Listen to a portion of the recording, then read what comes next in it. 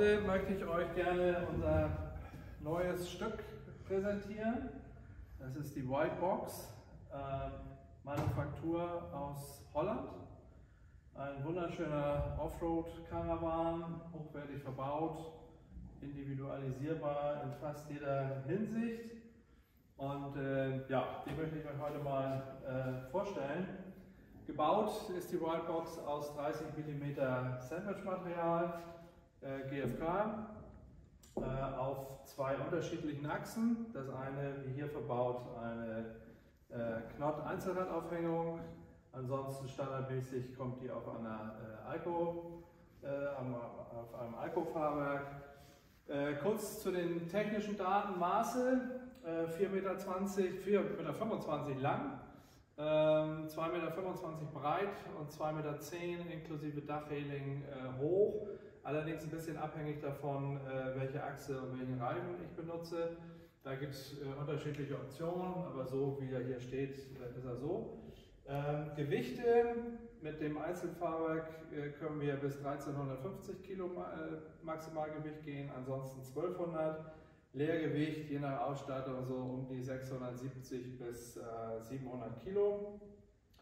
Die Stützlast äh, beträgt an der Kupplung maximal 100 Kilo. Äh, Im Leerzustand, so wie er jetzt ist, äh, ungefähr 65 Kilo hat er. Ähm, ja, fangen wir an.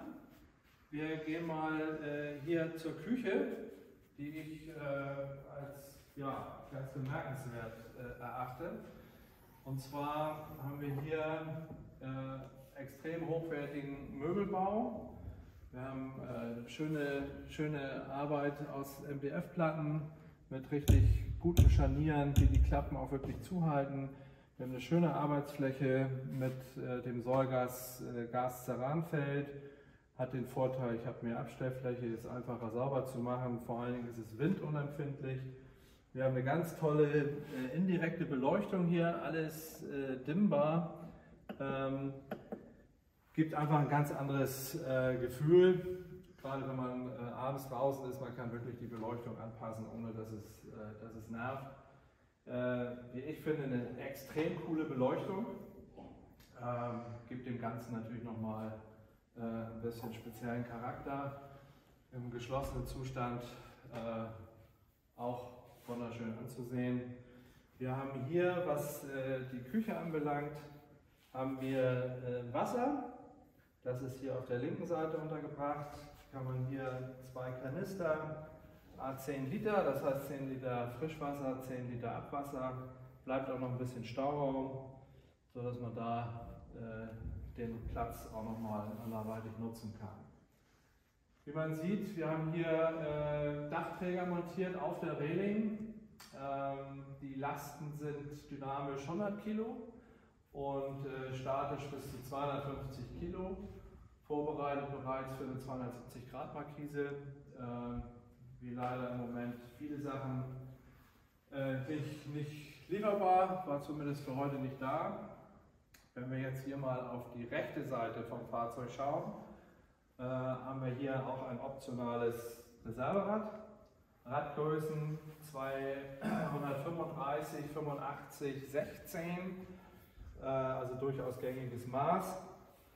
Kotflügel bei dem Modell hier aus Metall gearbeitet. Äh, in der Standardausführung sind die aus, aus Kunststoff, sind begehbar, halten also auch wirklich was aus, wobei ich ehrlicherweise immer auf den Reifen steigen würde. Zum Heizungssystem gibt es Folgendes zu sagen. Hier haben wir verbaut eine, eine sogenannte Propex-Heizung. Die arbeitet mit Gas und Elektrik. Das heißt, habe ich Strom zur Verfügung, kann ich elektrisch heizen. Wir haben 500, äh, 1000 und 2000 Watt Heizleistung. Und wenn sie über Gas läuft, dann haben wir 1,9 kW. Also für den Innenraum äh, bis minus 20 Grad äh, oder weniger sollte überhaupt kein Problem sein. Äh, ein tolles Feature ist hier, äh, dass wir den Zugangsschlauch in die Kabine mit einem äh, Schalldämpfer kombiniert haben. Das heißt, die Geräuschentwicklung in der Kabine beim Heizen ist, ist deutlich reduziert gegenüber einem normalen Schlauch. Ähm, jetzt kommen wir zu der Kabine als solches. Äh, das ist in der Tat etwas, was es äh, meines Wissens zumindest äh, in der Form noch gar nicht gibt. Nämlich wir haben hier ein Bett von 2,10 Meter Länge und 1,60 Meter Breite. Die Gesamtkabinenlänge innen ist 2,40 Meter. Das heißt, wir haben auch für große Menschen genug Platz. Wir haben ein extrem gemütliches Bett, richtige Matratzen mit einem echten Holzlattenrost. Wir haben Features wie diesen ausklappbaren Tisch, den kann ich von außen benutzen, den kann ich aber vor allem, wenn ich drin sitze, als Arbeitstisch zum Filme gucken, äh, Essen, zum allen gebrauchen. Er ist selbstverständlich auch so geformt, dass man die Tür auch zumachen kann, wenn der Tisch aufgeklappt ist. Ansonsten haben wir tatsächlich sechs Fenster. Wir haben zwei auf jeder Seite, links und rechts. Wir haben ein Dachfenster, eine Zwangsbelüftung, das ist klar.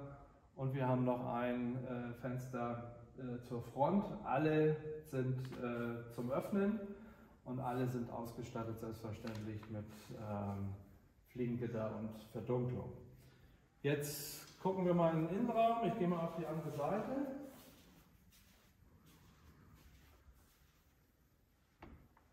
Also wie man schon sieht, extrem gemütlich. Auch hier schöner, heller Möbelbau äh, wir haben riesige Staufächer oben, verschließbar. Da passt also Unmengen äh, an Klamotten rein. Wir haben darunter nochmal offene Staufächer. Wir sehen da hinten den äh, Heizungsauslass, den schwarzen. Also das heißt, die Heizungsluft kommt auch an den Füßen raus, wo sie hingehört. Ansonsten haben wir hier eine wunderbar gemütliche Rückenlehne, eine große Ablage quer rüber für aller möglichen Kleinkram. Wir haben hier 220 Volt äh, Steckdosen. Wir haben in den Leselampen nochmal USB. Und äh, was es sehr angenehm macht, ist, wir haben sämtliche Elektrik voll zugänglich hinter der Rückenlehne verbaut. Hier haben wir jetzt eine 100 Ampere äh, Victron Lithium, also auch alles hochwertige Komponenten, ausschließlich Victron verbaut, äh, mit FI-Schalter etc.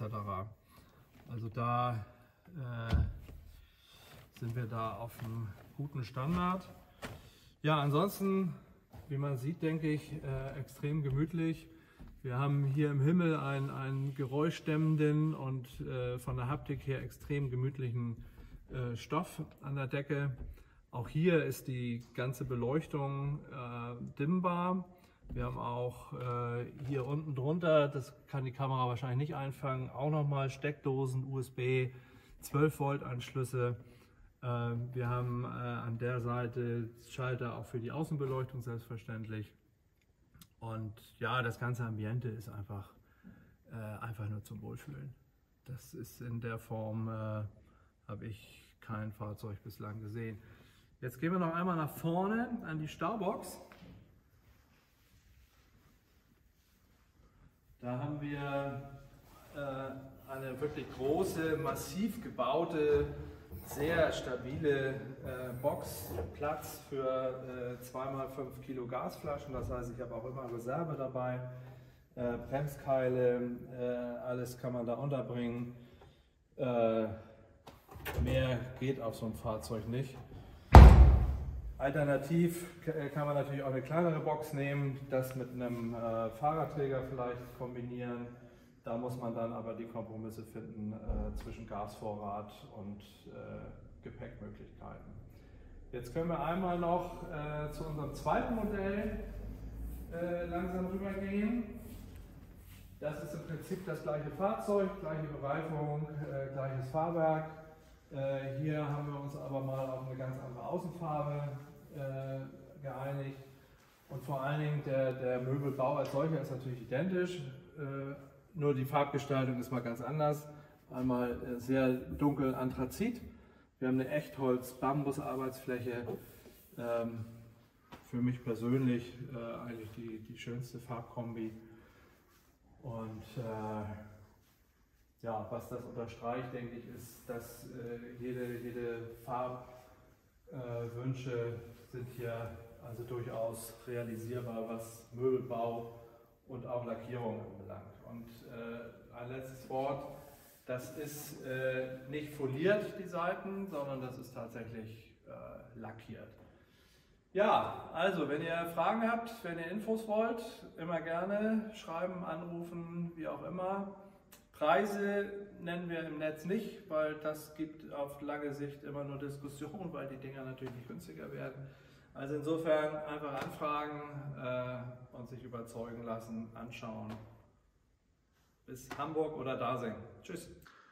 Moin Moin aus Hamburg nochmal. Ja, wie es manchmal passiert, man vergisst dann was. So, ähm, noch einmal kurz zum Fahrwerk. Das ist jetzt ja die Knott Einzelradaufhängung.